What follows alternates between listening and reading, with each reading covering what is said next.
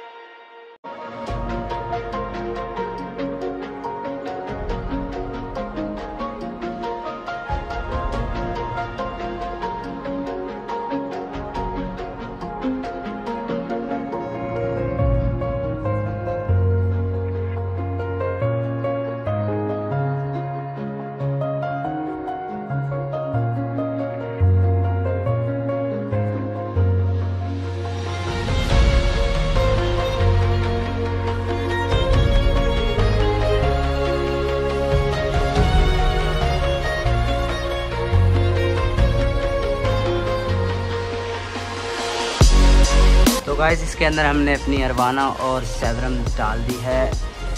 ये भी एक सेवरम और अपनी अरवाना देखो।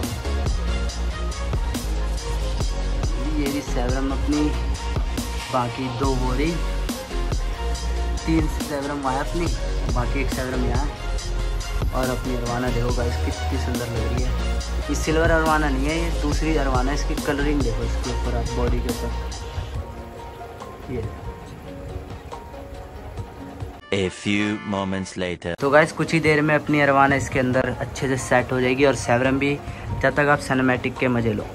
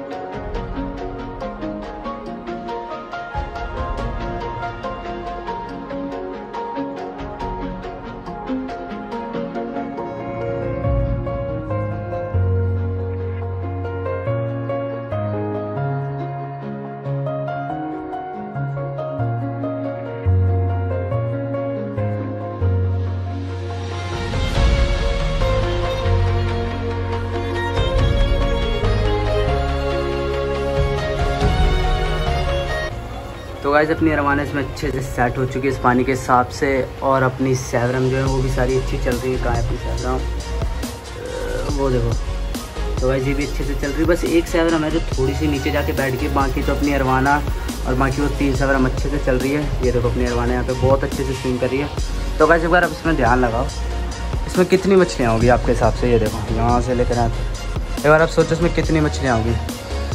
इसमें गाइस कम से कम थर्टी एट तो कम से कम चालीस मछलियाँ हैं, क्योंकि एक बार आप देखो, एक पैरेट एरी, एक पैरेट एरी, एक पैरेट, कम से कम पाँच पैरेट है, और अपनी छः सेवरम है, एक अपनी शॉर्ट बॉडी है, दो अपनी ऑरेंज कोई है, दो मिल्की कोई है, और दो छोटी कोई है, और बाकी चार टेक्सस है, दस अपनी कहते हैं, चिकलेट हैं, और चिकलेट में दस चिकलेट, दो फाइव बैंड है, चार अपनी ब्लू वाली चिकलेट है और दो अपनी जैबरा चिकलेट है और दो अपनी बनाना चिकलेट है और दो डॉलर हैं और एक रेनबो शार्क है और,